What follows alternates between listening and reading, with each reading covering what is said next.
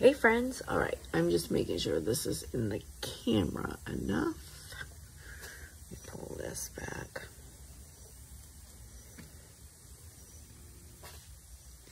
Boop, boop, boop.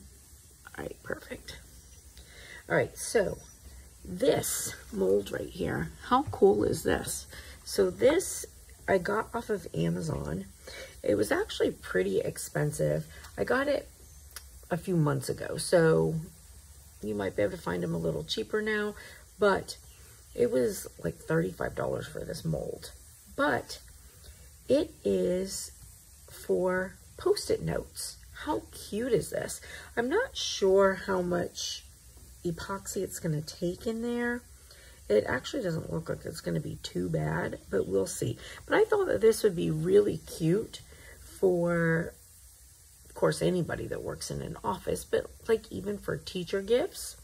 And so I'm first going to like make it just with glitter and see how it looks. But I feel like like you could put a name down here, here, you could put a saying here. You could even like do this a color and then go clear over it and put like a little, you know, funny kind of saying right here or a little picture. Like there is so much that you could do with this and I just think it's adorable. So we're going to use my Glitter Chimp resin. It's been sitting around for a while.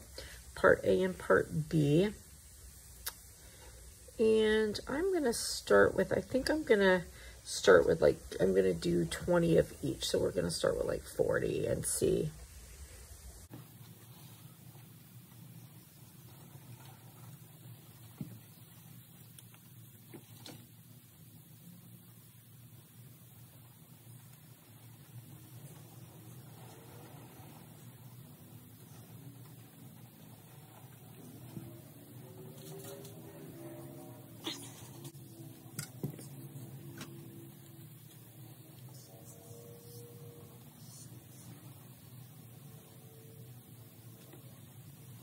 So we're going to mix it all together and put everything in the cup. Now, technically, really, I should mix it into each other and then back into each other again. That's, you know, to get the absolute best, but I, you know, I generally don't. But if you were doing, like, getting the best mix, you would mix into one cup into the other, then back into it, and then you can put it in your bigger cup. Now I'm just going to give this a little stir, and I'm going to put it in my um, epoxy mixer, and then we'll get it after four minutes. All right, so this cup was definitely too small for the amount of epoxy that I put in.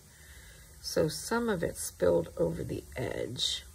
The biggest problem with that is that if that's the case, then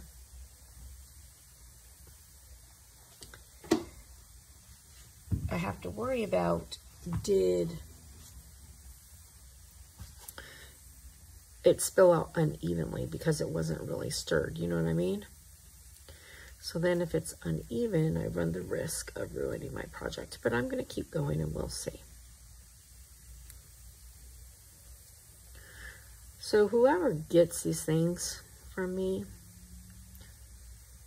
if you hadn't seen my last video, just go back and look at it and you'll know what I'm talking about. Just know that, you know, these epoxy mixers are nice, but you can only put so much in them.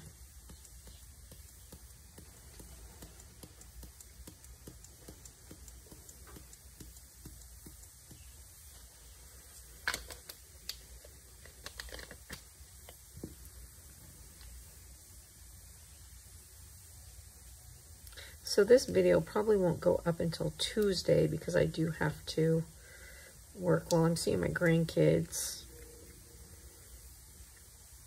Sunday. So I won't do anything on Sunday and then Monday, Tuesday. Actually, I work Monday, Tuesday, Wednesday.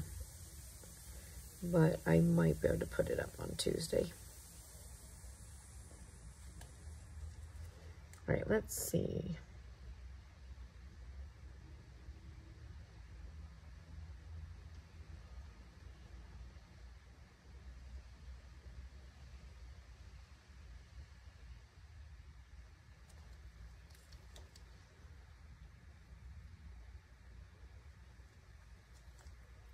All right, so this is 40 cc's.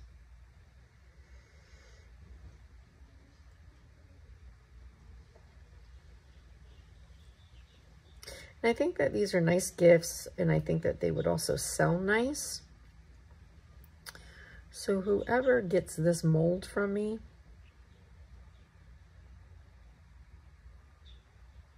you know, just keep in mind that you do need to um, think about the amount of epoxy that you're using when you're making your pricing. Okay, so that's not too bad. That's 40. And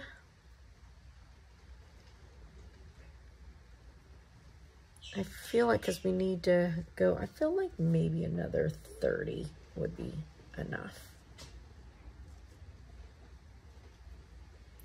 Maybe even more than enough. But let's let's do another 30. I'm just to mix it up and then um, I'll come back after it's mixed, okay? All right, so while that's mixing, I want you guys to see, and when I go back and look at the video, I'll try and zoom in, but I want you to see all these bubbles right here. And as it sits, the bubbles will come up. Now, of course, you can use your heat gun to get rid of this. The only problem with your heat gun is, you know, it does make your epoxy kind of move a little, but it's not that big of a deal. Um, some people use a torch, but I personally wouldn't recommend using a torch on your molds because you can ruin them, you know, and molds are expensive. What I personally like to use is denatured alcohol and I get it at like Lowe's or Home Depot. It's not expensive. It's like 10 bucks for a big thing of it and it lasts forever. And then I also use it like if I'm putting, um, if I am putting decals on something, that's what I use to clean it beforehand. And denatured alcohol is basically just a higher alcohol content. And in order to use alcohol like this, your alcohol content has to be at least 92% okay? So you can use denatured alcohol and just spray it and watch the bubbles go away.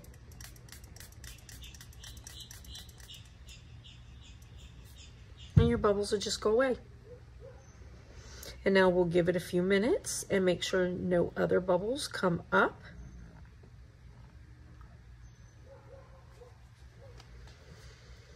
And we'll spray it again if we need to and the alcohol is no big deal. It won't hurt your um, it won't hurt your project at all. Of course, you can't have water in your project because that'll mess it up, and that's why it has to be a much higher alcohol content.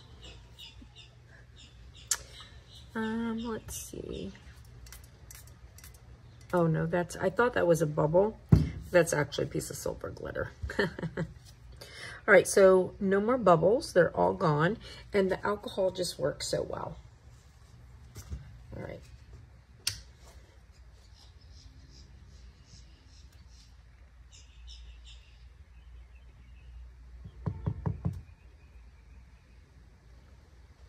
This time I did 30 cc's, and of course nothing spilled. 30 cc's is really about the good point for these turners, uh, turners, listen to me, um, epoxy mixers.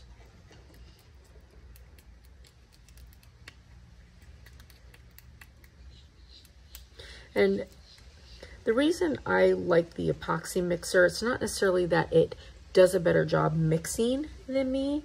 It's just that, you know, when you're mixing it yourself, you know, it's easy to not do that full mix just because your hand gets tired. You know, four minutes is a long time when you're just standing there stirring epoxy.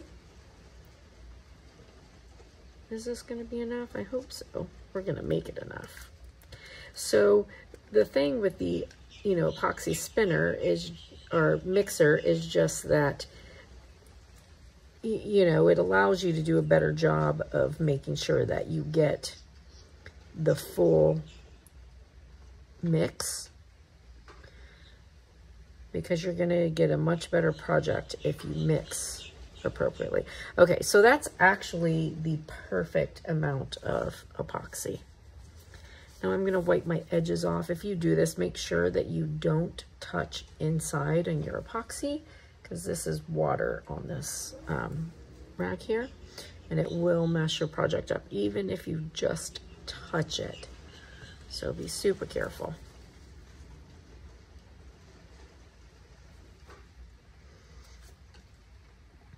And I like to kind of pull my edges a little bit and just make sure that everything's like down in the edges.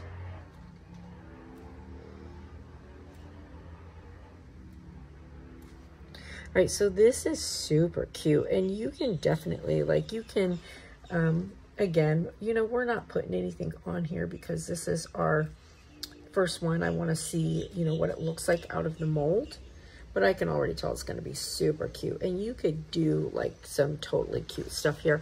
And so where I put glitter, you know, back in for the second part of it, like you, I would even, if you wanted to decorate this, I would even just do clear. So I would put a little bit of clear on this and then put down whatever decal or whatever you're going to use and then clear over it all.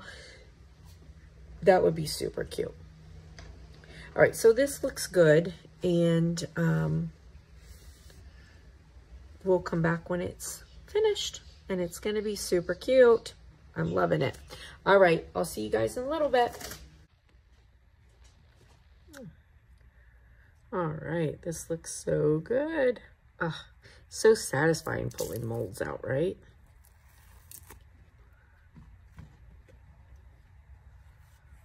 Oh yeah, this is cute. Okay, so it's very, um, like colorful in one color. So it makes it a little bit harder to see, but I don't know if you can see. So there's a ridge right in here.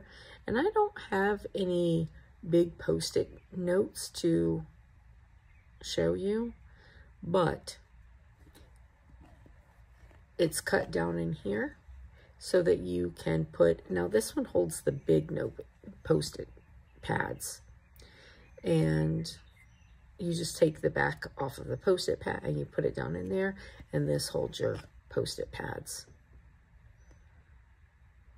Super cute. So I think that you could, you know, you could put a name across here. You could do, like I said, like a saying up in here so many things you could do. This is so pretty. This is really pretty. This is a cool idea. And our epoxy came out really good. And I like it. I wish that it was for a smaller post-it note because, you know, you got to buy the big ones. But that's okay. Super cute. All right. So I hope you guys like it. And depending, I have a few things that I want to get done with the amount of epoxy I have. So, you know, depending, maybe we'll do some, you know, other ones. But this turned out good. All right. I hope you guys have a blessed and beautiful day, friends. And I'll see you later. Bye.